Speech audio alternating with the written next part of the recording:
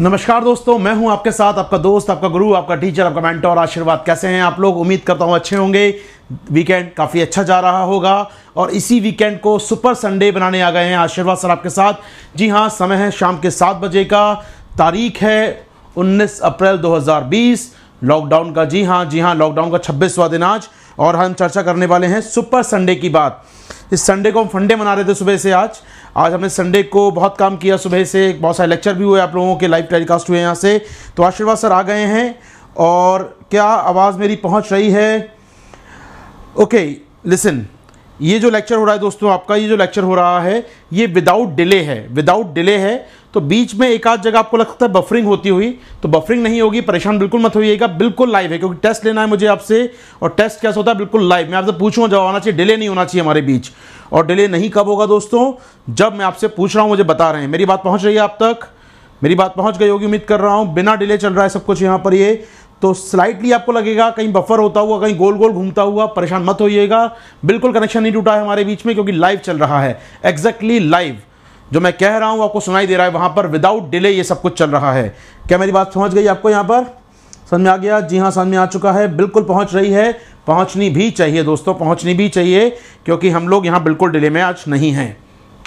चलिए तो शुरू करेंगे दोस्तों टेस्ट क्योंकि टेस्ट का मतलब होता है मैंने क्वेश्चन दिखाया, आपको आंसर आना चाहिए यहाँ पर, तब तो मज़ा आएगा, वरना मज़ा नहीं आएगा। तो मैंने इसको बिल्कुल अल्ट्रा लो लेटेंसी कर दी है। अल्ट्रा लो लेटेंसी मतलब without delay in hardly one second delay होगा मेरे और आपके बीच में. आपको क्वेश्चन मैं दिखाऊँगा, आपको दिख जाएगा स्क्रीन में तुरंत वहाँ पर. तो इस कारण थोड़ा ज़्यादा स्पीड चाहिए होती है इस काम के लिए. और कई बार नेटवर्क इशू आ जाएगा, हल्का सा बफर हो सकता है, हल्का सा गोल घूमता दिखाई दे, लेकिन कनेक्शन खराब नहीं होगा, चिंता ना करें. बिल्कुल कनेक्शन खराब नहीं होगा, अब तक बात ज़रूर पहुंचेगी मेरी. ठीक है दोस्तों तो शुरू करते हैं, फटाफट क्या करना है आपको? आपको करना है दोस्तों लाइक शेयर का बटन दबा दीजिए फटाफट लोगों को बुला लीजिए। आ जाना चाहें फरवरी के क्वेश्चन आ गए हैं आशीर्वाद सर के साथ क्योंकि आ, हम बात कर रहे हैं करंट अफेयर्स माफ़ी करंट अफेयर्स की बात मुझे करनी है करंट अफेयर्स का लाइव टेस्ट जी हाँ शुरू करते हैं अपने साथ बिना देर किए बिना खराब किए समय। तो पहले जान लीजिए क्या बात बतानी है मुझे? बात बाद में करेंगे पहले हम टेस्ट लेंगे दोस्तों ठीक है? तो पहले हम टेस्ट शुरू करेंगे। टेस्ट का है हमारा? हमारा टेस्ट है पहला क्वेश्चन आपकी स्क्रीन पर हिंदी और इंग्लिश दोनों दिखाई देगा दोस्तों दोनों में दिखाई देगा आपको। क्या ये आप पढ़ पा रहे हैं बता दीजिए मुझे आप लोग। दीजिए पढ़ने में आ रहा है कि नहीं आ रहा है? मैं कुछ और प्रयास करूँ इसके लिए। क्या ये आपको पढ़ने में आ रहा है? बताइए मुझे आराम से, सब लोग फटाफट। चलेगा सर, सबको पढ़ने में आ रहा है ये। ठीक है, ओके सर। ठीक है। Yes sir we are ready ठीक है। कोई नहीं दोस्तों let's crack it yes sir पढ़ने में आ रहा है, पढ़ने में आ रहा है। थोड़ा सा अपना सिस्टम जूम कर सकते हैं हम लोग यहाँ पर। या मैं आपको पहले हिंदी दिखाना, फिर इंग्लिश दिखाना पड़ेगा इसके से मुझे आपको। चलिए कोई बात नहीं, ये भी हम कर सकते हैं कि हिंदी और इंग्लिश सकते हैं कि करके आपके साथ। मैं समय बच जाता हमारा, लेकिन कोई बात नहीं, समय बचाना नहीं है। तो समय खराब करना है तो आपकी थोड़ा सा लाइटिंग का इशू रहता है दोस्तों। तो एक काम करता हूँ थोड़ा सा लाइट और अब मेरा चेहरा डार्क हो जाएगा, परेशान बिल्कुल मत होइएगा आप लोग। ठीक है? तो मेरा चेहरा और डार्क हो जाएगा। बिल्कुल मैं अंधेरे में दिखाई दूँगा आपको। बिल्कुल परेशान नहीं होंगे, लेकिन आपको स्क्रीन अच्छी दिखाई देगी इससे मेरी कम से कम। तो स्क्रीन और अच्छी दिखाई देगी आपको मेरी इससे। क्योंकि लाइटिंग आप जानते हैं इशू चल रहा है काफ़ी दिनों से हमारे यहाँ पर। अब उम्मीद कर रहा हूँ आपको दिखाई दे रहा है। अब ये आपको दिखाई दे रहा है। अभी स्पष्ट होगा मेरे ख्याल से। पढ़ने में आपको आ जाएगा आराम से। ठीक है, अब ये पढ़ने में आपको आ रहा है। थोड़ा सा और उधर कर सकते हैं। हम चाहें तो हमारे पास स्पेस उधर का है अभी। थोड़ा जूम भी कर सकते हैं इसको। चलिए, पहला क्वेश्चन आपकी स्क्रीन पर फटाफट फटाफट चालू करेंगे। पहला क्वेश्चन आ गया दोस्तों आपकी स्क्रीन पर। M I E W S क्या है ये? विचार कीजिए कथनों पर। बाज़ार बुद्धिमत्ता, पूर्व चेतावनी प्रणाली, market intelligence and early warning system के बारे में विचार कीजिए। पहला, ये साइंस टेक डिपार्टमेंट का इनिशिएटिव है। दूसरा, ये किसानों को एडवाइस करने के लिए जिससे सरप्लस यदि मार्केट में आ गया, बहुत ज़्यादा सामान आ गया मार्केट में तो आप किसानों को अवेयर कर सके, भैया, बहुत ज़्यादा आ गया सप्लाई कम कर दो, क्योंकि इससे मार्केट के दाम कम हो सकते हैं। क्या बोलेंगे दोस्तों? इसका answer B B B B A A A B वाले सी वाले सी वाले बी वाले। जी हाँ दोस्तों, रुक जाइए फटाफट। आपको मिलवाते हैं इसके आंसर से, आपको मिलवाते हैं इसके आंसर से। चलेंगे डिस्कस करेंगे, क्योंकि आप आशीर्वाद क्लास में हैं तो डिस्कस होना ज़रूरी है। इसको हम बंद कर सकते हैं। हम आएँगे अपनी स्लाइड पर फिर। आइए, मेरा रिमोट कहाँ गया? मेरा रिमोट ये रहा दोस्तों। फटाफट शेयर कर दीजिए लाइक कर दीजिए दोस्तों। तो पहला आंसर पहले का आंसर दोस्तों, आपकी स्क्रीन पर आ चुका है। पहले का आंसर है बी जी हाँ क्या है ये? Launch of M I E W S फटाफट देखेंगे आपके साथ, काम की चीज़ें मिलेंगी आपको यहाँ पर। ये जो पोर्टल है लॉन्च किसने किया, किस मंत्रालय ने? मिनिस्ट्री ऑफ़ फ़ूड प्रोसेसिंग ने लॉन्च किया है दोस्तों। मिनिस्ट्री ऑफ़ फ़ूड प्रोसेसिंग ने इसको लॉन्च किया है। क्या है ये पोर्टल? तो डिपार्टमेंट ऑफ़ साइंस टेक करनी है, पहली बात तो ये स्टेटमेंट गलत हो गया, पहला वाला। मिनिस्ट्री ने लॉन्च किया क्यों लॉन्च किया है? समझिए, फटाफट सुनिएगा। मिनिस्ट्री ऑफ़ फ़ूड प्रोसेसिंग ने लॉन्च किया है। हमारी हरसिमरत कौर मैडम इसकी अध्यक्ष हैं इस मंत्रालय की, क्यों? सुनिएगा। क्यों लॉन्च किया है? क्योंकि आप जानते हो, नाम सुनोगा ऑपरेशन ग्रीन्स याद है ऑपरेशन ग्रीन्स क्या है ये? दो साल पहले बैठ में आया था ऑपरेशन ग्रीन्स टॉप फ़सलों के लिए टॉप जानते हैं? टमाटो ओनियन पोटैटो जी हाँ टमाटो ओनियन पोटैटो टमाटर, आलू, प्याज। मंडी में आता है, मंडी में सरप्लस ज़्यादा हो जाए उसका तो किसान को मालूम हो कि भैया प्याज बहुत ज़्यादा आ रही है मंडी में तो वो अवेयर हो जाए, प्याज लेके नहीं जाना, प्याज का दाम नहीं मिलेगा। जिससे किसानों को अच्छा मूल्य मिल पाए, उनको जानकारी हो पाए कि अधिक क्या है या सरप्लस है या नहीं है। तो ये पोर्टल आपकी मदद करता है। M E E W S ये पोर्टल आपकी मदद करता है दोस्तों। चलिए बादशाह सर क्लास में है तो ज्ञान बढ़ता रहना चाहिए। ज्ञान खजाना खोल लेते हैं आपके साथ थोड़ा सा हम लोग यहाँ पर। मैं आपको दिखाऊँगा इस पोर्टल पर चल के। पोर्टल में क्या है हमारे?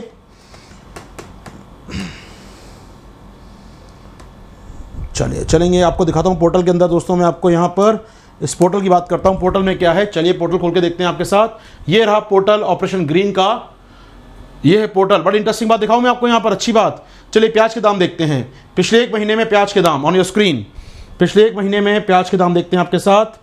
तो तीन चीज़ देखती हैं इसमें क्या क्या ओनियन पोटैटो टमाटो यानी टॉप ऑपरेशन ग्रीन के तहत बनाइए। सोचिएगा, पिछले एक महीने में प्याज के दाम या पिछले एक महीने में प्याज के दाम, लसेगांव मंडी, देश की लार्जेस्ट मंडी है प्याज की। हज़ार रुपये क्विंटल था, कब? तेईस मार्च को। पच्चीस मार्च को हज़ार बारह सौ, पंद्रह सौ क्विंटल पहुँचा। फिर कम होते होते आज कहाँ आ गया दोस्तों? वो हज़ार आठ सौ नौ सौ रुपये पे आ चुका है। जी हाँ दोस्तों, लगातार प्राइस कम हो रहा है, प्याज का दाम गिर रहा है, प्याज की दाम किसान को नहीं मिल रहे हैं। क्या वो दोस्तों, सब कुछ ठीक चल रहा है हमारे यहाँ पर? ठीक चल रहा है सब कुछ? टेक्निकल समस्या तो नहीं है। ठीक है। देखिए टेस्ट मैं लूँगा, बाकी अपने आंसर भी आपको दूँगा, अपनी एडवाइस भी दूँगा तो प्लीज़ देखते रहिए यहाँ पर।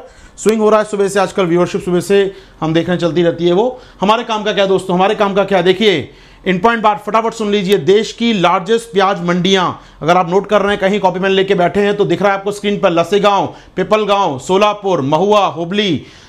लसेगांव इंडिया की लार्जेस्ट प्याज मंडी है, जहाँ दाम क्या चल रहा है आज? साढ़े सात सौ रुपए पर क्विंटल। जी हाँ, साढ़े सात सौ रुपए क्विंटल लसेगांव। याद नहीं करना प्राइस आपको याद करना है, मंडी का नाम। लसेगांव, महाराष्ट्र, देश की सबसे बड़ी प्याज मंडी, पिपलगांव, सोलापुर, महुआ ये गुजरात में है, हुबली, कर्नाटक में है, ये देश की कुछ बड़ी पाँच मंडियाँ हैं। याद रखेंगे, ओनियन, टमाटो, प्याज, पटोटे की बात करें, इसका दाम भी देख सकते हैं आराम से आप लोग। इसका दाम बढ़ रहा है, आलू का दाम बढ़ रहा है, आलू का दाम लगातार बढ़ रहा है पिछले कुछ दिनों से।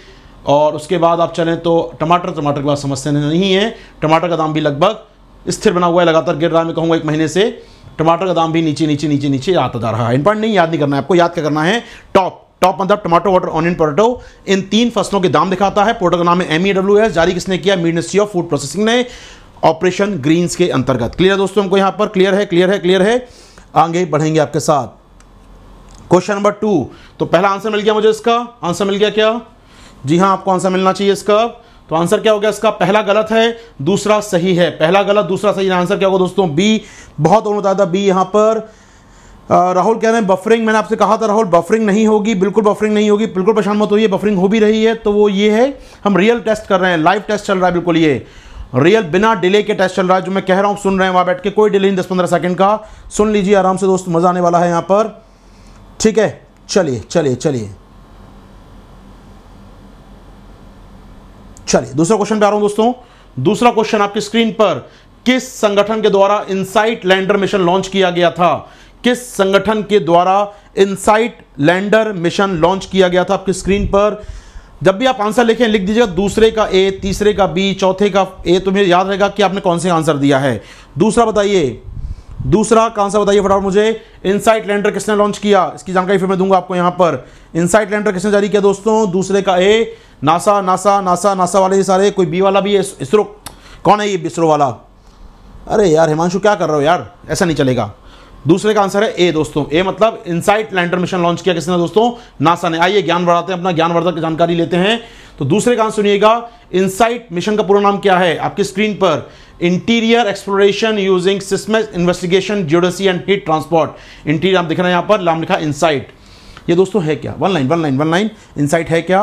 इनसाइट मिशन के तहत नासा ने एक यान भेजा मंगल पर, वो लैंड किया मंगल की सतह पर, और वहाँ ड्रिल करके खुदाई कर रहा है ज़मीन के नीचे। टेम्परेचर क्या है? भूकंपीय तरंगी क्या है? सेस्मिक एक्टिविटीज़ कैसी होती हैं? जियोडेसी वहाँ पर भू धरातल में क्या है? हीट कैसी है धरातल के नीचे? इनका वो अध्ययन कर रहा है। यानी ये रहा हमारा, आप देख रहे हैं अपनी स्क्रीन पर। यह है क्या दोस्तों, मालूम है आपको? यह है इनसाइट लैंडर जो लैंड कर चुका है मंगल की लाल सतह के ऊपर, और यहाँ से डिवाइस निकल के आप देख रहे हैं, नीचे जा रहा है। और वो स्टडी करेगा भूकंपी तरंगों का स्टडी करेगा वहाँ के तापमान का। क्लियर दोस्तों हमको यहाँ पर? पहले एक दूसरे का आंसर हो गया ए इनसाइट लैंडर लैंड कर चुका है, एक साल हो चुका है लैंड किए उसे रिसर्च कर रहा है आजकल वहाँ पर ये, मंगल की सतह के नीचे क्या है? क्या वहाँ इंसान रहते हैं? क्या वहाँ एलियन रहते हैं? ये नहीं पता कर रहा, वो पता कर रहा है कि भूकंपी तरंगें कैसी हैं और टेम्परेचर कैसा। अच्छा एक बात आइए मुझे आप लोग, अगर आप समझ पाए हैं यदि आप अर्थ नीचे के ज़मीन के नीचे जान गए, भूकंपी तरंगें सेस्मिक वेव कैसी हैं, आप जान गए टेम्परेचर कैसा है तो आप जान जाएँगे नीचे का स्ट्रक्चर कैसा है। हम पृथ्वी के इंटीरियर का अध्ययन करते हैं कैसे सेस्मिक वेव से। एस पी एल पढ़ा होगा आपने प्राइमरी सेकेंडरी लॉन्गिट्यूडनल वेव्स पढ़े हैं आपने ना? लव तरंगे, रैले तरंगे पढ़ी होंगी, जानता हूँ पढ़ी होंगी एनसीआरटी इलेवंथ क्लास की कहती है। एस पी एल तरंगे पढ़ी हैं आप लोगों ने। लैट्यूड तरंगे होती हैं, जो लॉन्गिट्यूड तरंगे होती हैं प्राइमरी सेकेंडरी और पार्श्विक तरंगे। जी हाँ तो अध्ययन कर लेगा अगर ये तरंगों का तो आप जान पाएँगे मंगल किससे बना है, मंगल के अंदर क्या है। जी हाँ दोस्तों, ये है आपका एसपीएल क्लियर है? सबको क्लियर है, सबको क्लियर है। फटाफट चलिए दोस्तों, समय कम है, काम ज़्यादा है। तीसरा क्वेश्चन तीसरा क्वेश्चन आपकी स्क्रीन पर दोस्तों, तीसरा क्वेश्चन राष्ट्रीय कृषि विज्ञान केंद्र सम्मेलन, थोड़ा सा कट रहा है इंग्लिश में। Science centre conference consider following statements के विचार की दो कथन दिए हैं। इसका आयोजन किसने किया दोस्तों? इसका आयोजन कहना है केंद्रीय कृषि किसान कल्याण ग्रामीण विकास पंचायती राज मंत्री ने इसका उद्घाटन किया।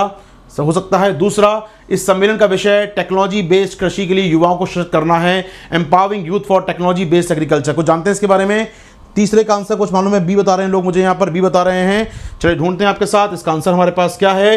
तीसरा दोस्तों, तीसरा सुन लीजिए। इनसाइट की बात मैंने कर दी इनसाइट की बता दी मैंने, अंदर आपको बातें इनसाइट की बात हो गई है, आगे बढ़ेंगे आपके साथ। चौथा क्वेश्चन चौथे का आंसर दोस्तों सी यानी दोनों स्टेटमेंट सही है, ज्ञानवर्धक जानकारी है। ये ज्ञानवर्धक है, दोनों स्टेटमेंट सही हैं। ये सुन लीजिए क्या हुआ है। क्या हुआ है दोस्तों? तो हुआ ये है कि ग्यारहवा राष्ट्रीय कृषि विज्ञान केंद्र सम्मेलन इलेवेंथ नेशनल केवी के कॉन्फ्रेंस आयोजन किया गया नई दिल्ली में। आईसीएआर के द्वारा आयोजन कराया जाता है इसका। ICAR, Indian council of agriculture research ने आयोजन कराया और थीम लिखा है, लाल शब्दों में देख रहे हैं मेरे साथ, empowering youth for technology led farming. Okay, one line one line class में सर की हैं। केवी के होते क्या हैं ये? दोस्तों, केवी के होते क्या हैं? ये केवी के क्या है? कृषि विज्ञान केंद्र क्या जानते हैं इसके बारे में? चलिए बताएँगे सर आपको कृषि विज्ञान केंद्र के बारे में। सुन लीजिए, कृषि विज्ञान केंद्र। कृषि विज्ञान के ध्यान से क्वेश्चन आने वाला इस पर इस साल। मैं आपको गारंटी से बोल रहा हूँ, कृषि विज्ञान केंद्र पे इस बार सवाल ज़रूर आएगा। बहुत बड़ा काम उन्होंने किया है दोस्तों। मज़ा आ रहा है कि नहीं आ रहा टेस्ट देने में? मज़ा आ रहा है ना? तो बता, सुनते रहिए। अगले 30-40 मिनट में आपको इतने अच्छे क्वेश्चन के साथ, इतना अच्छा कंटेंट कराने वाला हूँ मैं। बने रहिए मेरे साथ यहाँ पर। कृषि विज्ञान केंद्र, समझिएगा दोस्तों, क्या है? पहली बात तो केवी के इंटीग्रल पार्ट है। मालूम किसका? राष्ट्रीय कृषि अनुसंधान प्रणाली का एनएआरएस का। यानी जो बनते हैं केवी के ना, ये बनते हैं किसके अधीन? ये बनते हैं एनएआरएस के अधीन। पहला केवी के कब बना था? 1974 बना था। जी हाँ पौंडीचेरी बना था पहला केवी के। होता क्या केवी के? सिंपल सी बात दोस्तों, सिंपल सी बात है। आपके लोहर ज़िले में है लगभग केवी के। आज के डेट में हर ज़िले में केवी कृषि विज्ञान केंद्र करते क्या हैं? आपके ज़िले में कृषि जो हो रही है, उसकी रिक्वायरमेंट्स क्या हैं? उसके लिए कौन सी टेक्नोलॉजी अच्छी है? उसका असेसमेंट करना, उसके नीड ऑफ़ टेक्नोलॉजी को समझना और उसके लिए टेक्नोलॉजी डेवलप करना, ये बड़ी बात है। एक, आपकी मिट्टी काली है, आप में इरिगेशन ऐसा होगा, आपके लिए सॉइल में फर्टिलाइज़र ये लगेगा, ये असेसमेंट करेगा केवी के और बताएगा किसानों को और टेक्नोलॉजी इन्वेंट भी करेगा आपके लिए वो। तो केवी के the backbone of Indian science tech in the field of agriculture में कहूँ अगर कृषि में विज्ञान प्रौद्योगिकी रीढ़ की हड्डी अपने आप में केवी के हमारे देश के हर ज़िले में स्थापित हो चुके हैं।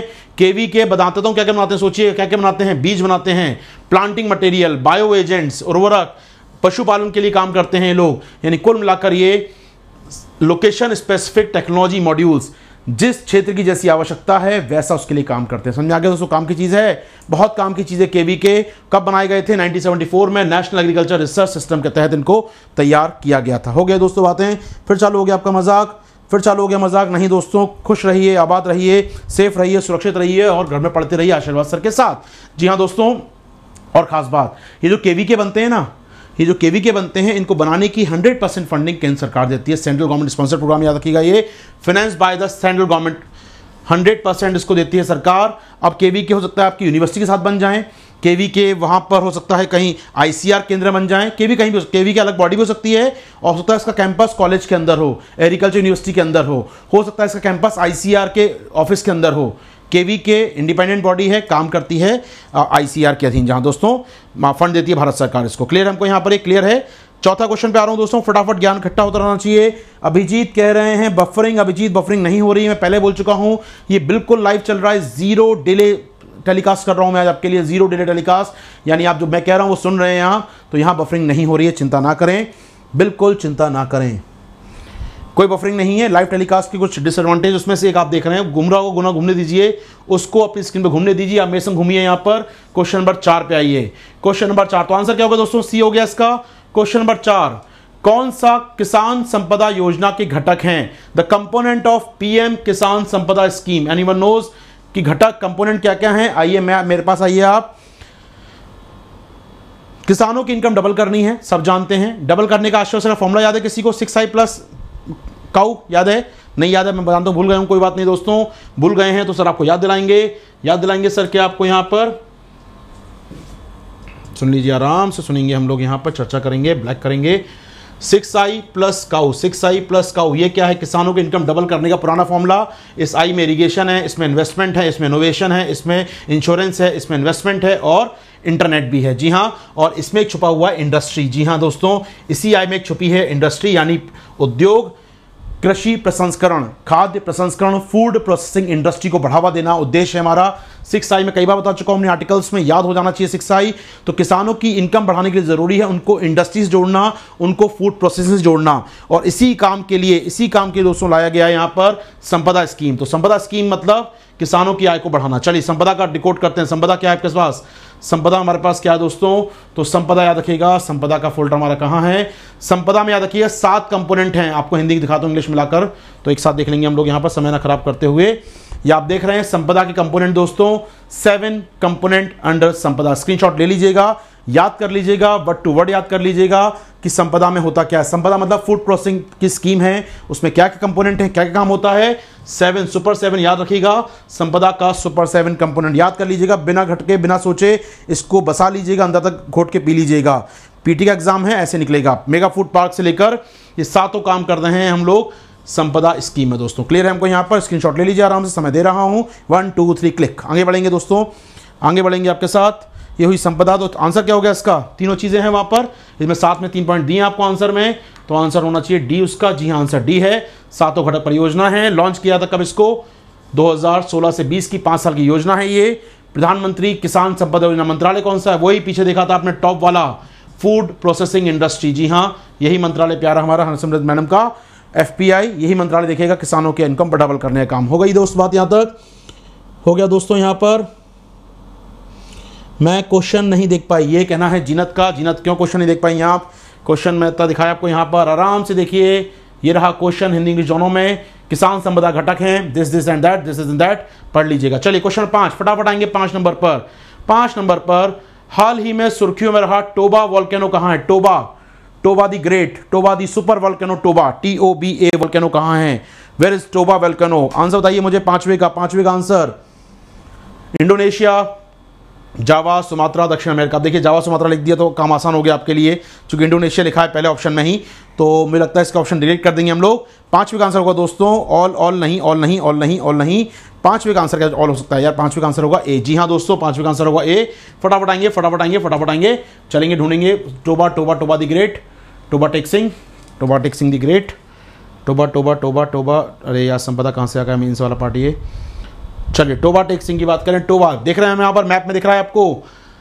कहाँ पर है? इंडोनेशिया का सुमात्रा द्वीप। इंडोनेशिया के सुमात्रा द्वीप में है।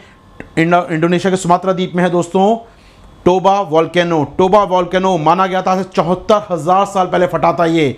सेवेंटी फोर ईयर थाउज़ेंड साल पहले फटा था ये। और इससे दुनिया भर में अंधेरा हो गया। दुनिया भर में आ, बहुत नुकसान हुआ था। काफ़ी लोग मारे गए थे। बहुत बड़े स्केल पर लोग मर गए थे इस विस्फोट से। लेकिन उस दौरान ये पाया गया रिसर्च में कि जब टोबा में ज्वालामुखी फटा था, जब टोबा में ज्वालामुखी फटा था, तब हमारे भारत के सोन घाटी कहाँ पर सोन घाटी यूपी, एमपी बॉर्डर सोन घाटी नदी, घाटी क्षेत्र में रहने वाले लोग बच गए थे। जी हाँ ये बात सामने आई है। जब दुनिया से मानवता खत्म हो गई थी, कोरोना नहीं कोरोना नहीं, इसका नाम था टोबा। टोबा के कारण तब बच गए थे घर में रहने वाले लोग, यानी सोन घाटी में रहने वाले लोग। याद रख पाएँगे दोस्तों हम लोग यहाँ पर? ईपीएफओ e में आएगा। जी हाँ बिल्कुल ईपीएफओ e यूपीएससी दिया करता है दोस्तों। करंट अफेयर कोई भी क्वेश्चन यूपीएससी जो पढ़ रहे हैं आप लोग, वो काम आएगा आपको यूपीएससी ईपीएफओ e में भी। कोई बफरिंग नहीं है दोस्तों, कोई बफरिंग नहीं है। थोड़ा गोला घूमता दीजिए, घूम रहा है, घूमने दीजिए। समय का चक्र है, मैं समय हूँ। महाभारत देख रहे हैं टीवी पर आती है आजकल। वो बोलता है, मैं समय हूँ, घूम रहा घूमने दीजिए। वो समय का चक्र है बफरिंग का चक्र नहीं है।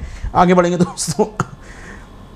मज़ा आना चाहिए दोस्तों, देखिए मज़ा आना चाहिए। टेस्ट दे रहे हैं, कुछ ज्ञान मिले इंटरटेन भी करें अपने आप को क्वेश्चन का लोड भी ना हो। Toba in Sumatra. याद रखिएगा, टोबा फटा था कब? सेवेंटी फोर थाउज़ेंड पहले। और सोचिएगा, टोबा जब फटा था, तब सोच सकते हैं आप, कितना मैग्मा कितने इलाके में फैला इसका? 2800 किलोमीटर इलाके में मैग्मा फैला था। सोच सकते हैं कितना विस्फोट हुआ होगा। ज्वालामुखी निकला और ये फैला हुआ 2800 किलोमीटर इलाके तक मैग्मा फैल गया था। इटली का विश्ववेश फटता है, तीन किलोमीटर मैग्मा जाता है। कराकताओ कराकताओ बहुत बड़ा माना जाता है। तब फटता है तो 18 किलोमीटर तक जाता है मैग्मा और ये जाता है दोस्तों लगभग अट्ठाईस किलोमीटर दूर तक मैग्मा जाता है। यानी समझ सकते हैं आप कितना बड़ा विस्फोट था अपने आप में ये। आगे चलेंगे हम लोग यहाँ पर। चलिए। Next point next point next point दो क्वेश्चन में जोड़ रहा हूँ कि आपने क्वेश्चन आंसर देख लिया। कोई बात नहीं, कोई बात नहीं, कोई बात नहीं। क्वेश्चन देखते हैं पहले हम लोग। क्वेश्चन नंबर छह और सात। छह नंबर क्वेश्चन आपकी स्क्रीन पर। इनकॉइस के संदर्भ में विचार कीजिए, इनकॉइस के संदर्भ विचार कीजिए दोस्तों, इनकॉइस पूरा नाम देख रहे हैं हम लोग। भारतीय महासागर सूचना प्रमाण केंद्र, Indian national centre for ocean information services, INCOIS के बारे में विचार कीजिए। पहला यह संस्थान मिनिस्ट्री ऑफ़ अर्थ साइंस में आता है, पहला स्टेटमेंट।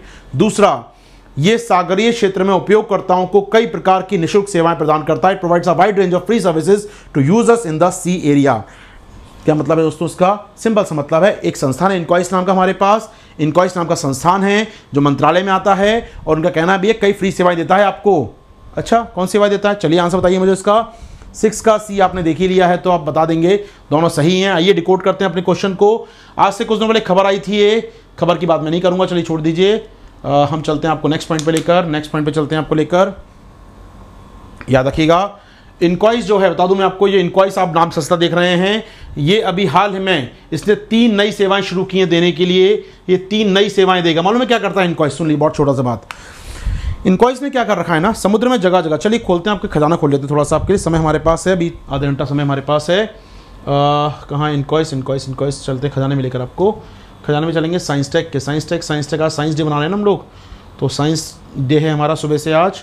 साइंस में चलेंगे आपको लेकर ओशियन टेक्नोलॉजी। ओशियन टेक्नोलॉजी ये रहा। ये रहा अपना ओशियन टेक्नोलॉजी, पीपीटी। ओके? तो बताया मैंने आपको दोस्तों इनक्वाइस इनक्वाइस का नाम देख रहे हैं, पूरा नाम हिंदी में, भारतीय राष्ट्रीय महासागर सूचना सेवा केंद्र हेडक्वार्टर इनक्वाइस कहाँ है? हैदराबाद में दोस्तों, ठीक है? याद रखिए इनक्वाइस कहाँ है? हैदराबाद में, मुश्किल नहीं होगा आपको। इनक्वाइस बना हैदराबाद में मिनिस्ट्री कौन सी है? देख लिया पीछे आपने अर्थ साइंस पहला स्टेटमेंट सही है। दूसरा, सेवाएँ फ्री देता है। सुन लीजिए, करता क्या इनक्वाइस करता क्या दोस्तों, मालूम है? बड़ा इंटरेस्टिंग काम करता है ये। कहाँ गया अर्गो? अर्गो अर्गो अर्गो फ्लेम आई थी वैसे कुछ साल पहले। चलिए। ये करता क्या है ना इनक्वाइस इसने ना ऐसे जगह जगह अपने समुद्र के अंदर ना ऐसे उपकरण डाल रखे हैं। दिख रहा है आपको? इसे कहते हैं अर्गोज। इसे कहते हैं अर्गोज या मूर्स भी कहते हैं। ये तैर रहे हैं पानी के अंदर और ये जुड़े होते हैं सेटेलाइट से। ये जुड़े होते हैं सेटेलाइट से। यहाँ का पानी का टेम्परेचर क्या है? पानी में क्लोरोफिल कितना है? पानी में सेलिनिटी कितनी है? लवणता कितनी है? धाराओं की दिशा कितनी है? हवाएँ कितनी तेज चल रही हैं? चक्रवात आ रहा है क्या? समुद्र के सतह पर कुछ भी अगर हो रहा है तो सूचना इसमें स्टोर होगी और जाएगी सीधे सेटेलाइट पर, यानी कुछ कुछ इस प्रकार से काम होगा हमारा।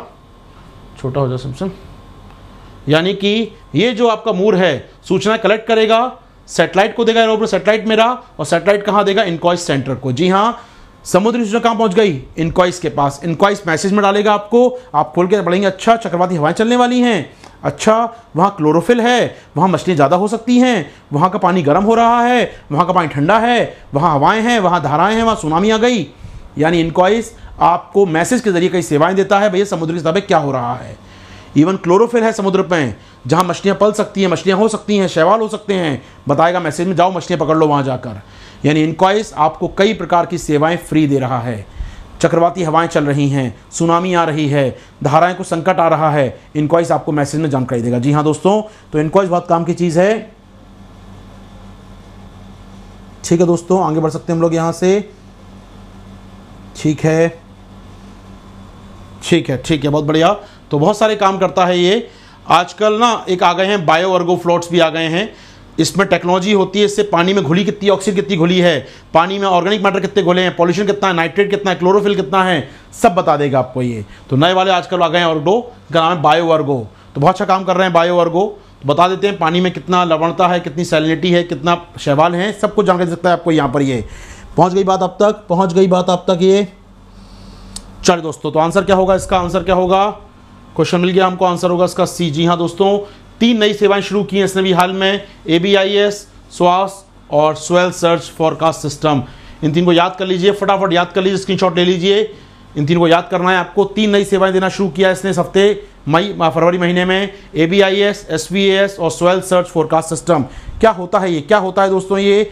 अगला क्वेश्चन देखते हैं। फिर आएँगे इस पर आपके साथ। अगला क्वेश्चन दिखा दूँ, फिर मैं आऊँगा। अगला क्वेश्चन हमारे पास ये रहा। अगला क्वेश्चन छठवें का आंसर हो गया C seventh question four possible reason of algae eruption have been identified as bloom hotspot corona hotspot नहीं है दोस्तों ब्लूम हॉटस्पॉट है ये। एल्गी प्रस्फुटन के चार संभावित क्षेत्रों में पहचान के रूप में की गई है। क्षेत्र कौन कौन से हैं? North eastern Arabian sea Kerala का तटीय जल मनार की खाड़ी गोपालपुर का तटीय जल। क्या होता है एल्गी हॉटस्पॉट जानते हैं दोस्तों एल्गी ब्लूम एल्गी ब्लूम जो कोस्टल लाइन होती है तटीय इलाके, वहाँ पर एकाएक, बहुत बड़े स्केल पे शैवाल एल्गी पनप जाती है। एल्गी ब्लूम हो जाता है, जिससे वहाँ का पानी खराब हो जाता है, पानी में ऑक्सीजन की मात्रा खत्म हो जाती है, जो कोस्टल लाइफ है, जो जीवन है, मछलियाँ हैं, वो मर जाती हैं, वहाँ मछलियाँ नहीं रह पाती हैं। तो पॉल्यूशन एक प्रकार का ये, और कहाँ कहाँ है ये, पहचान की गई है कहाँ कहाँ, इन चारों ही जोन में दोस्तों। चारों इलाके हैं इसके आंसर में। इसका आंसर होगा डी दोस्तों आपका। इसका आंसर होगा डी गोपालपुर का तटीय जल भी इसकी कैटेगरी में है। इसका आंसर होगा डी दोस्तों। खास बात बताऊँ क्या है आपको? सुन लीजिए यहाँ पर। यहाँ पर जोड़ता है हमारा आंसर पिछले क्वेश्चन से हमारा आंसर था दोस्तों, कहाँ गया वो? ओके आराम सुनिएगा आराम सुनिएगा आराम सुनिएगा। इनक्वाइस ने तीन सेवा जाना शुरू किया है। उसमें एक सेवा है algae bloom information service system यही है ए बी आई एस जो जानकारी देगा आपको एलगी ब्लूम के बारे में। जी हाँ दोस्तों एलगी ब्लूम के बारे में, शैवाल के प्रस्फुटन के बारे में कौन जानकारी देगा आपको मालूम है? जानकारी देगा आपको ये ए बी आई एस नाम का फ्री प्रणाली। ये जानकारी देगी आपको कि भैया वहाँ पर पनप रही है एलगी या नहीं, वहाँ खतरे कौन कौन से हैं? तो याद रखिएगा ए बी आई एस तो तीन सेवाएँ शुरू की, उसमें से एलगी ब्लूम सर्विस जानकारी देगी आपको कि कहाँ पर एलगी पनप रही है, कहाँ पर एलगी ब्लूम हो सकता है दोस्तों। याद रख पाएँगे हम लोग यहाँ पर। तो चारों लोकेशन चारों लोकेशन बहुत काम की हैं ये। यहाँ पर एलगी विस्फोट हो सकता है, एलगी प्रस्फुटन हो सकता है। इनक्वाइस की A B I S system थोड़ा याद रखेंगे। ए बी आई एस का मेन काम क्या है? कहाँ कहाँ एलगी पनप रही है? इसकी जानकारी हम आपको दे पाएँ। क्लियर दोस्तों? सेवन डी हो गया, सातवें का डी हो गया। बहुत बढ़िया सिद्दीकी साहब। बहुत बढ़िया चलने दीजिए। इस प्रकार से और मैसेज करते रहिए। प्यार भरे मैसेज चलने चाहिए आपके। अगला क्वेश्चन आएँगे दोस्तों। अगला क्वेश्चन आठ नंबर क्वेश्चन आठ नंबर क्वेश्चन अच्छा बताइए, मज़ा आ रहा है क्या नहीं? सबसे पहला काम, मज़ा आ रहा है। नॉलेज मिल रही है। पहला काम, ज्ञान मिलना चाहिए। मज़ा आना चाहिए और मज़ा सीखना चाहिए कुछ ना कुछ। समझ आ रही दोस्तों, ओके, बहुत बढ़िया, सबका ठीक चल रहा है, मज़ा आ रहा है, सबको मज़ा आ रहा है और सीख भी रहे हैं। बहुत बढ़िया दोस्तों, ये डबल काम रेट तो टू इन वन वाला काम हो गया अपना। Shikha, Mukesh, Swati Vandana I S Divishree Rituraj, Pooja, Mayanka Neha, Shivani, Indraraj, Rajesh, Rahul. बहुत बढ़िया दोस्तों, बहुत बढ़िया। चलिए चलिए चलिए। विदाउट डिले चल रहा है मामला। कोई समस्या नहीं है। अगला क्वेश्चन अगला क्वेश्चन अगला क्वेश्चन अगला क्वेश्चन आपकी स्क्रीन में दोस्तों, आठवां नंबर। हाल ही में सुर्खियों में रहा 2020 सी तीन क्या है? सी तीन क्या है? दोस्तों, बड़ा इंटरेस्टिंग बात थी, बताया था मैंने क्लास में अपनी। आपको पढ़ाया था मैंने, यहाँ पढ़ाया था मैंने, आपको याद होगा। 2020 सी डी तीन क्या दोस्तों? 2020 सी डी तीन क्या है? 2020 अरे मज़ा आ रहा है तो लाइक शेयर करते रहो दोस्तों, मज़ा आना चाहिए। 2020 सी डी तीन, बताइए आंसर। आंसर आठवें का आंसर, आठवें का आंसर, आठवें का आंसर एट का A B C D A B C D A B C D इसी पढ़ा रहा हूँ कि आपको मैं नहीं ए बी सी नहीं पढ़ा रहा हूँ मैं आपको। मैं पढ़ाऊँ केवल A for apple B for तो आपको बताया आठ मुझे, जी हाँ बताया आपने मुझे, आठवीं का बी दो सवालों में क्या है ये? क्या है ये? अस्थाई छोटा, चंद्रमा टेम्परेरी मिनी मून जी हाँ दोस्तों, आठवीं का आंसर है बी सही का आप लोगों ने। चलिए डिस्कवर करते हैं क्या है ये। एट का हमारा तो आठवें पे आते हैं दोस्तों। ये है पृथ्वी हमारी। ये है चंद्रमा हमारा। और हमारे चारों ओर ना आजकल एक नया पिंड चक्कर लगा रहा था। छोटा सा, बहुत छोटा सा, एक पत्थर, एक चट्टान के आकार का। सोचिएगा मतलब उसका डायमीटर था लगभग छः फीट के आसपास। छः सात फीट का डायमीटर व्यास था उसका। बस घूम रहा था पृथ्वी के चारों ओर। हमें लगा, हमें सेटेलाइट मिल गया नया। हमें लगा नेचुरल चंद्रमा के अलावा एक और उपग्रह मिल गया हमको। लेकिन ऐसा नहीं था, वो आया, घूम के निकल लिया। वो क्या था, एक एस्ट्रॉइड था। टेम्परेरी था अस्थाई था, घूमा तीन चार हफ़्ते और निकल लिया यहाँ से। यानी पृथ्वी की ऑर्बिट में घूमता रहा वो। उसका नाम क्या था दोस्तों? सी डी तीन, दो हज़ार बीस। सी डी तीन, कोरोना डिज़ीज़ तीन नहीं है दोस्तों, ये याद रखिएगा। पता लग गया, लगा दें एग्ज़ाम में कोरोना डिज़ीज़ तीन। कोविड नाइन्टीन नया वायरस सी डी तीन, कोरोना डिज़ीज़ नहीं। ये सी डी तीन है, यानी ये एक एस्ट्रॉइड था, एक क्षुद्र ग्रह था, जो कुछ समय रहा हमारे चारों ओर और निकल लिया, जिसको लगा पृथ्वी लोग काम के नहीं है। निकल लिया अगली मंजिल की ओर, ये था आपका अस्थायी चंद्रमा। न्यू टेम्परेरी मून, छोटा चंद्रमा था, कुछ समय रहा, निकल लिया यहाँ से, उसके बाद वो सी डी तीन। याद रहेगा इजी क्वेश्चन है दोस्तों, कोरोना डिज़ीज़ नहीं है हर चीज़। बहुत बढ़िया, मुकुल, बहुत बढ़िया मुकुल जैन, सही का आपने वो छाप दिया। आगे बढ़े दोस्तों हम लोग, आगे चलेंगे, अगले क्वेश्चन पे आएँगे आपके साथ। क्वेश्चन नंबर जो भी है आपका क्वेश्चन नंबर है आपका nine nine number thirty metre telescope English पढ़ लीजिए, हिंदी पढ़ लीजिए। थर्टी मीटर टेलीस्कोप के बारे में विचार कीजिए। पहला, ये चार देशों का जॉइंट वेंचर है, जिसमें भारत भी शामिल है। चार देशों का जॉइंट वेंचर है, जिसमें भारत भी शामिल है। और दूसरा, ये टेलीस्कोप हब्बल स्पेस टेलीस्कोप की तुलना में 1200 गुना अधिक रेजोल्यूशन प्रदान करेगा। 1200 गुना अधिक बेहतर रेजोल्यूशन देगा। क्या जानकारी हमारे पास है? बताइए नाइन्थ का आंसर नाइन्थ का answer A B C D A B C D ninth का।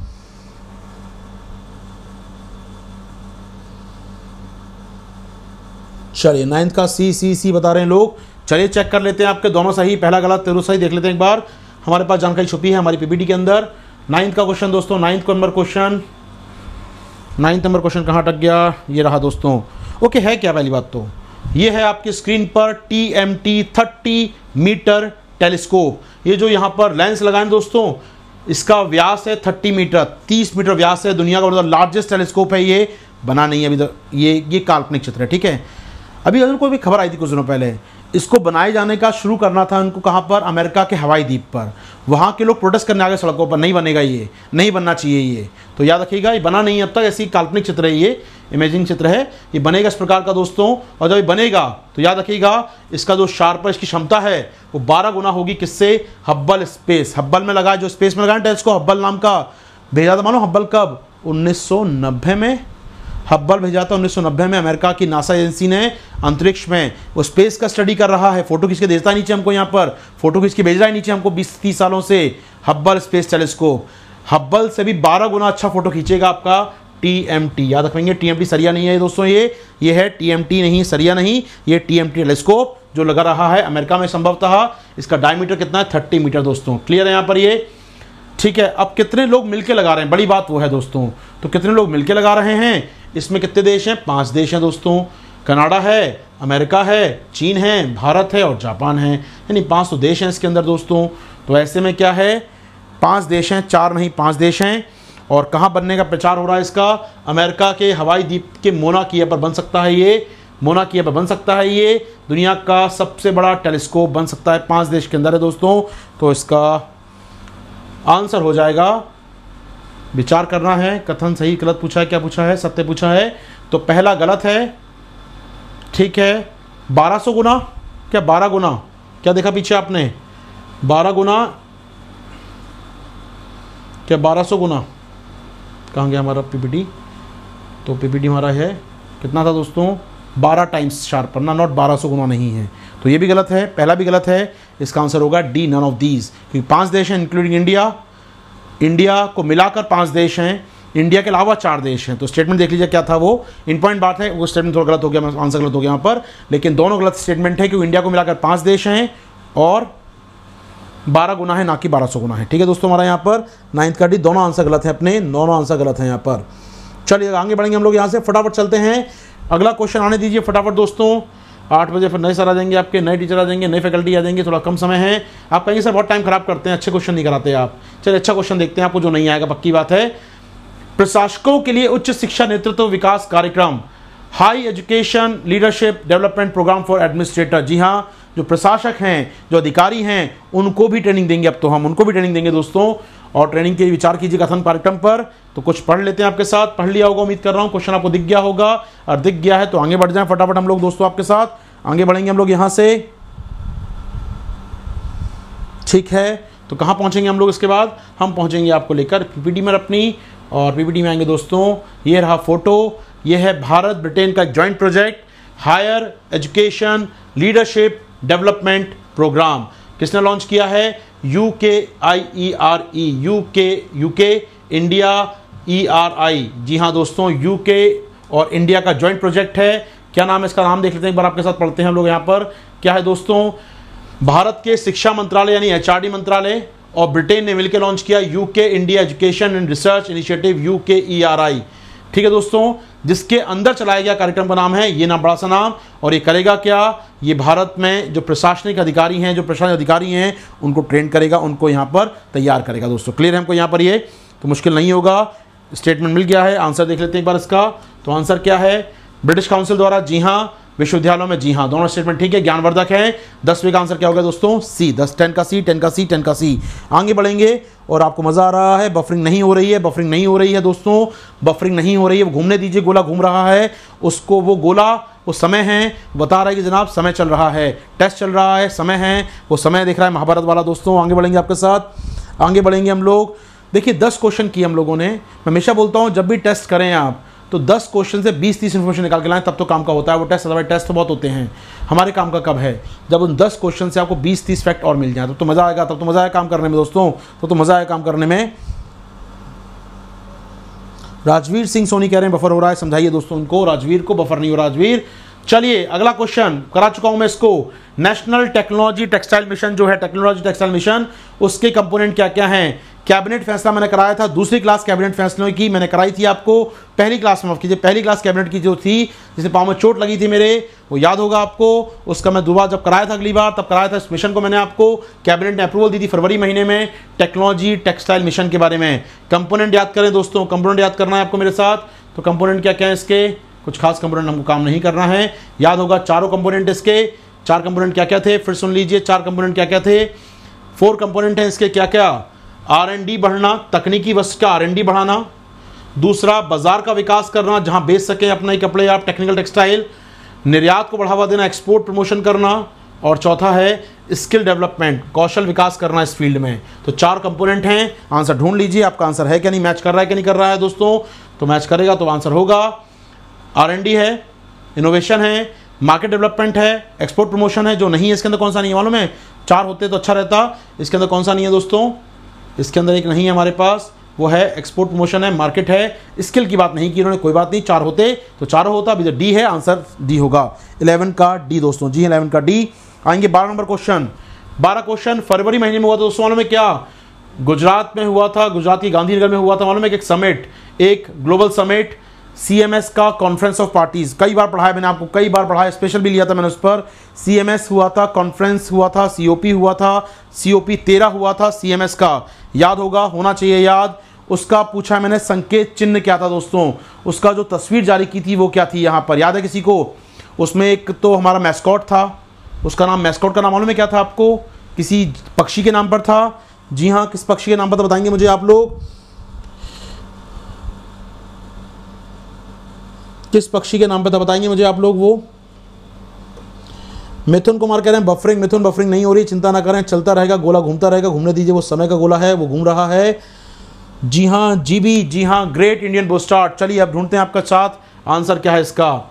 तो सवाल पूछा गया है सीओपी के प्रतीक चिन्ह में दक्षिण भारत के पारंपरिक रंगोली करने की जो परंपरा होती, कोलम, रंगोली करने की परंपरा होती, कोलम वहाँ पर उसका प्रयोग करते हुए भारत के जीवों को दिखाया गया, यानी रंगोली बनाई गई है चिन्ह में, और भारत के जीव बनाए गए हैं उसके अंदर। अच्छा और दूसरा हर तीन साल में होता है सीओपी का आयोजन। चलिए बात करते हैं।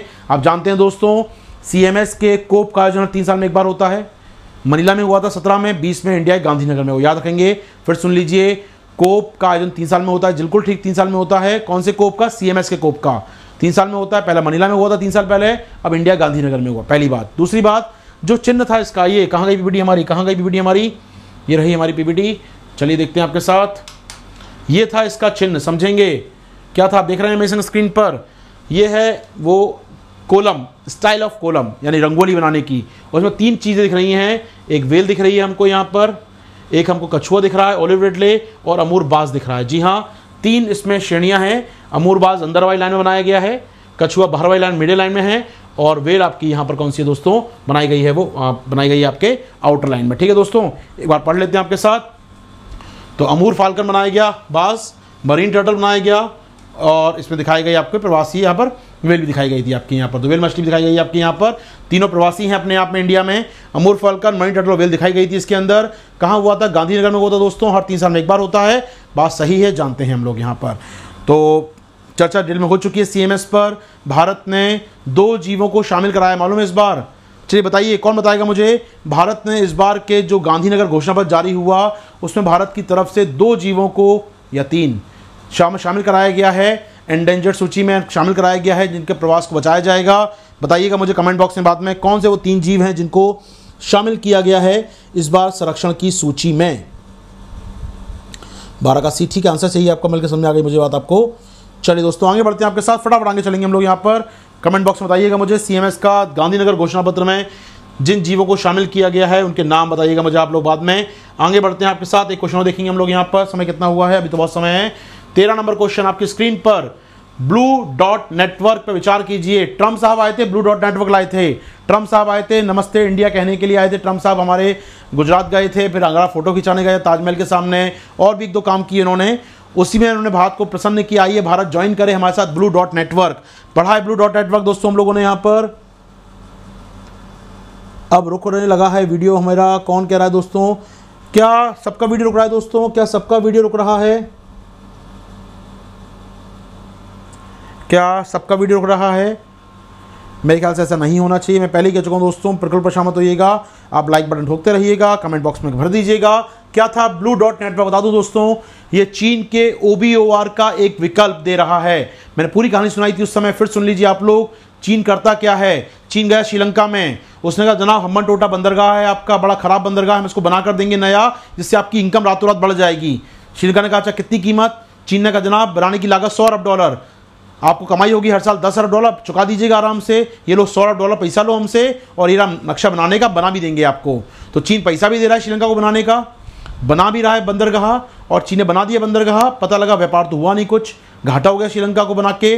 अब चीन कहता है, भैया, पैसा वापस करो मेरा। श्रीलंका पैसा है नहीं मेरे पास तो बंदरगाह ही दे दो तुम मुझे ये। तो चीन का जो ओ का जो कॉन्सेप्ट है, ये जो कॉलोनाइजेशन वो कर रहा है, जो प्रवेशवाद जो फैला रहा है, उसके खिलाफ एक एक अमेरिका ने लॉन्च किया है ब्लू डॉट नेटवर्क जहाँ अमेरिकन कंपनियाँ ग्लोबल कंपनियाँ एसेस करती हैं प्रोजेक्ट की लागत, क्या है और क्या फ़ायदे नुकसान हो सकते हैं। यानी कि एक आप जाके देख सकते हैं ऑनलाइन पोर्टल पर कि जनाब, अगर हम्बन टोटा बंदरगाह बनेगा तो कितना फ़ायदा होगा? रियल फोरकास्टिंग करते हैं हम लोग बनेगा तो फ़ायदा कितना, नुकसान कितना?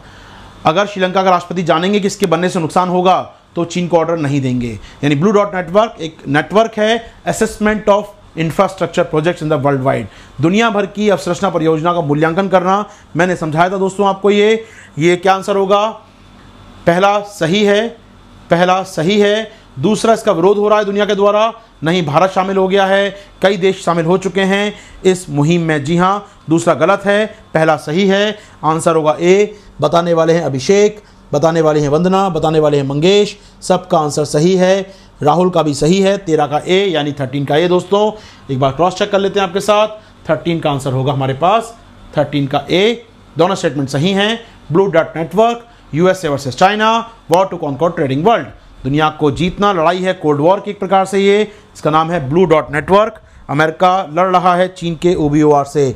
याद होना चाहिए दोस्तों, पूरी कहानी सुनाई थी मैंने आपको इसके बारे में। पूरी कहानी हमने बात की थी फरवरी महीने में। कोई बफरिंग नहीं, कोई समस्या नहीं। प्यार चल रहा है सिस्टम चलने दीजिए दोस्तों। क्लियर है? सारी बातें रिवाइज कर रहा हूँ मैं। फरवरी में सब कहानी कहा हूँ मैं, आप सुन लीजिए। सारी कहानी बात हुई है फरवरी में आपसे। ब्लू डॉट नेटवर्क आगे बढ़ेंगे दोस्तों आपके साथ। आगे चलेंगे हम लोग। अगले क्वेश्चन पर। क्वेश्चन नंबर चौदह डेटा लोकलाइजेशन पर विचार कीजिए। पहला, भारत और चीन डेटा लोकलाइजेशन के विरोध में है। अच्छा भारत विरोध कर रहा है, फिर कानून का ला रहा है भारत। भारत विरोध नहीं कर रहा दोस्तों, भारत सपोर्ट कर रहा है डेटा लोकलाइजेशन का। हम चाहते हैं डेटा स्टोर करो भैया। डेटा ये ना क्लाउड व्लाउड छोड़ो तुम। सब एच पे ला के रखो मेरे पास, सब फॉग में ला के रखो मेरे पास। यानी भारत चाहता है डेटा लोकलाइजेशन दो दिन पहले बात में कर रहा था आपसे किसी किसी चा किसी आ, हम लोग चर्चा कर रहे थे। मैंने बताया था गूगल अपना रीजनल ऑफ़िस खोल रहा है मुंबई के बाद दिल्ली में। जी हाँ गूगल सर्वर बना रहा है अपना अमेजन बना चुका है हैदराबाद में। यानी हम सपोर्ट करते हैं डेटा लोकलाइजेशन का विरोध नहीं करते हैं। जी हाँ दोस्तों तो पहला तो पक्की बात है गलत है मेरी तरफ़ से गलत है। और दूसरा, पढ़ लेते हैं आपके साथ the concept of data globalization contradict the concept of globalization and promotes of protectionism data स्थानीयकरण की संकल्पना वैश्वीकरण की संकल्प में विपरीत है और संरक्षणवाद को बढ़ावा देती है। भैया, तुम्हें ना डेटा देश के बाहर नहीं लेके जाओगे। आशीर्वाद का डेटा देश के अंदर रहेगा, ये कहती है सरकार। तो क्या हुआ ये? ये एंटी ग्लोबलाइजेशन कॉन्सेप्ट है। ये वैश्वीकरण का विरोध है। ट्रंप साहब कहते हैं, डेटा घूमना चाहिए, डेटा को फ्लू फ्लो छोड़ दो। जैसे लोग आते जाते हैं, माल आता जाता है, ऐसे डेटा को भी होना चाहिए फ्लो। आप डेटा लोकलाइज करेंगे, डेटा को रोक रहे हैं। ये एंटी ग्लोबलाइजेशन है, ये शॉर्ट ऑफ़ प्रोटेक्शनिज्म है। ये एक प्रकार का संरक्षणवाद है। ये कहना है अमेरिका का, पश्चिमी देशों का। तो आंसर क्या होगा दोस्तों, बताएँगे मुझे इसका? कौन सा सत्य है? पहला गलत, दूसरा सही, चौदह का बी। जी हाँ चौदह का बी। पहचान गए हैं आप लोग। और नहीं मैं एक्सप्लेन करूँ उसको ज़्यादा। अच्छा एक मिनट रुकते हैं, एक मिनट रुकते हैं। भारत ने डेटा ग्लोबलाइजेशन करने के लिए क्या कदम उठाए हैं? सिंपल लास्ट ईयर दो क्वेश्चन आए थे पीटी में। लास्ट ईयर पीटी में दो क्वेश्चन थे से संबंधित। बताएँगे मुझे आप, भारत ने डेटा ग्लोबलाइजेशन संबंधित क्या कार्य किए हैं? बता दीजिए। पहला काम क्या किया दोस्तों? आरबीआई ने कदम उठाया है और आरबीआई ने कहा है कि जितने भी पेमेंट कंपनियाँ हैं, जितने भी बैंक हैं, उनको देश, विदेशी बैंक अगर हैं तो डेटा देश में ही स्टोर करना होगा। डेटा लोकेशन का नॉर्म्स आ चुके हैं आरबीआई के। तो वो आपने देखा इस पर क्वेश्चन लास्ट सीपीटी में आया था। और भारत सरकार डेटा प्रोटेक्शन बिल ला रही है on the recommendation of justice Shri Krishna committee report justice Shri Krishna committee की रिपोर्ट के बाद देश में डेटा प्रोटेक्शन बिल लाया जा रहा है, जहाँ डेटा प्रोटेक्शन किया सकता है। तो justice Shri Krishna report UPSC पूछ चुका है, कई बार पूछता रहेगा जस्टिस बी श्री कृष्णा जी हाँ दोस्तों, याद रखिएगा इनका नाम। इनकी रिपोर्ट के आधार पर सरकार ने एक बिल तैयार किया बिल पास हुआ नहीं है, बहुत जल्दी पास हो जाएगा। General data protection bill, Bharat का डेटा प्रोटेक्शन बिल की बात यहाँ पर हो रही है। चंदन कह रहे हैं, आपको सेशन अच्छा लग रहा है चंदन? अच्छा लग रहा है तो बने रहिए मेरे साथ। नहीं लग रहा है तो जाकर सो जाइए आराम से। कोई ज़बरदस्ती नहीं, कोई हंगामा नहीं टेस्ट तो होता है ऐसे ही दोस्तों। और आशीर्वाद से टेस्ट तो ऐसे ही होते हैं, जहाँ ज्ञान की गंगा बहती रहनी चाहिए। ज्ञान की गंगा इस क्लास से निकलकर आपको बंगाली खाड़ी तक पहुंचनी चाहिए, आपके घर तक, आपके दिल तक, आपके दिमाग तक पहुंचनी चाहिए। फ्री होकर बात कर रहे हैं दोस्तों हम लोग यहाँ पर। चलिए आगे बढ़ेंगे दोस्तों आपके साथ। आगे चलेंगे, हमारे पास समय है, एक आध क्वेश्चन और कर सकते हैं। तो आंसर क्या हो जाएगा दोस्तों? चौदह का चौदह का आंसर हो जाएगा दोस्तों। जी हाँ पहला गलत दूसरा सही, यानी बी पंद्रह लास्ट क्वेश्चन करते हैं, चलिए, क्योंकि आठ बजे आ रहे हैं आपके साथ कौन? आठ बजे आ रहे हैं आपके साथ रोहन सर। कुछ और बातें भी करूँगा इस बार। पंद्रह क्वेश्चन असम अकॉर्ड के बारे में विचार कीजिए। असम अकॉर्ड पहला स्टेटमेंट कब हुआ था साइन? 15 अगस्त 1985 को साइन हुआ था। ये कह रहा है स्टेटमेंट पहला स्टेटमेंट कह रहा है, ये कहता है, भैया, असम अकॉर्ड कि 24 मार्च के बाद 24 मार्च 1971 के बाद जो भी बांग्लादेशी भारत में आए हैं, उन्हें नागरिकता दे दो। ये क्या बेवकूफ़ी यार? ये थोड़ी कहेगा यार। तो बच्चा भी जानता है ना यार, इतना मंगामा हुआ एनआरसी को लेकर। भूल गए ना एनआरसी आजकल? पहले सी फॉर सिटीजनशिप बिल था, आजकल सी फॉर कोरोना आ गया, सब भूल गए हम लोग ना यहाँ पर, ये चलता है देश के अंदर। सी फॉर कम्युनल होना सी फॉर सिटीजनशिप बिल होना सी फॉर जितना भी नफरत फैला रखी थी लोगों ने सी सब खत्म हो गया। सी कोरोना बचा देश में केवल। इसलिए बोलता हूँ सी फॉर चॉइस अच्छी होगी तो आपका बी फॉर बर्थ और डी फॉर डेथ दोनों अच्छे हो जाएँगे। चलिए दोस्तों, कोई बात नहीं अब नहीं समझाएगी बात आपको यहाँ पर, बाद में समझेंगे आपके साथ। असम समझौते विचार कीजिए। पहला समझौता दोस्तों क्या है? 25 मार्च 1970 बाद के बाद असम में आए हुए नागरिकता प्रदान करता है। जी नहीं, पहला गलत है। दूसरा सही है। आइए देखते हैं आपके साथ क्या मतलब है यहाँ पर। कहानी क्या कह रही है हमारी? हमारी कहानी, ये है वो तस्वीर, असम अकॉर्ड की, साइन किसने की थी? राजीव गांधी, तीन पार्टी समझौता था। असम सरकार, अलगाववादी और केंद्र सरकार की भी साइन हुआ था। 15 अगस्त 1985 को। जी हाँ दोस्तों, वो सही स्टेटमेंट है। इसमें क्या लिखा था? इसमें ये लिखा था दोस्तों कि ऐसे बांग्लादेशी, ऐसे घुसपैठिए जो 24 अगस्त 24 मार्च 1971 की रात्रि के बाद आए हैं असम के अंदर, उन्हें निकाल फेंको। उन्हें निकाल फेंको यहाँ से। ये कहना था किसका दोस्तों? इस एग्रीमेंट का। इस समझौते कहना था कि 24 मार्च के बाद 24 मार्च 1971 के बाद जो भी असम में घुसपैठी आया है, उसे बाहर निकाल दो रिपोर्ट करो, जेल में डालो, बाहर फेंको उसको। उसके पहले आ चुके आगे बना लेंगे। उसके बाद में जो है, उनको निकाल फेंकिए यहाँ से। पहुँच गई मेरी बात आप तक दोस्तों? पहुँच गई है। बिल्कुल पहुँच गई होगी दोस्तों। मेरे प्लस का टाइम हो रहा है। एक पाँच मिनट का, दो मिनट का विज्ञापन सुन लीजिए लास्ट में जाते जाते। जैसे कि आप जानते हैं दोस्तों अकेडमी सब्सक्रिप्शन पर मैं लॉन्च कर चुका हूँ आपके लिए इकोनॉमिक्स को। वहाँ इकोनॉमिक चल रही है बड़ी शानदार तरीके से आपकी। आइए जुड़िए मुझसे वहाँ पर। प्लस कोर्स की बात कर रहा हूँ, थोड़ा सा प्लस का विज्ञापन है, सुन लीजिए। विज्ञापन अलग से नहीं करता हूँ मैं विज्ञापन छोटा सा सुन लीजिए आपके साथ, दो मिनट का विज्ञापन है दोस्तों। यहाँ पर प्लस कर्स में ला चुका हूँ मैं आपके लिए अन अकेडमी का सब्सक्रिप्शन वहाँ पर आइए ज्वाइन कीजिए हमको। और इसके अलावा, वो एक अलग चीज़ है, लेकिन आप कुछ जानकारी चाहते हैं प्राप्त करना मुझसे, कुछ पूछना चाहते हैं, कुछ सवाल हैं, कुछ जानना चाहते हैं, तैयारी कैसे करें, रणनीति क्या हो प्लस के बारे में नॉन प्लस के बारे में तो मेरा मेल आईडी दोस्तों आपके पास होना चाहिए। मेरा मेल आईडी आपके पास है दोस्तों। है क्या नहीं मेल आईडी आपके पास? बिल्कुल है मेल आईडी ना। तो मेल मेल कर दीजिएगा दोस्तों मुझे। जो नहीं जानते हैं दोस्तों मेरा मेल आईडी उनके लिए मेल आईडी दिखा दूँ मैं अपना यहाँ पर आपको। तो मेरा मेल आईडी आपके संग स्क्रीन पर दोस्तों यहाँ पर। आइए यूज़ कीजिए आशीर्वाद टेन रेफरल कोड से और मुझे मेल कीजिए। और मेरा मेल आईडी आपके संग स्क्रीन पर दोस्तों यहाँ पर।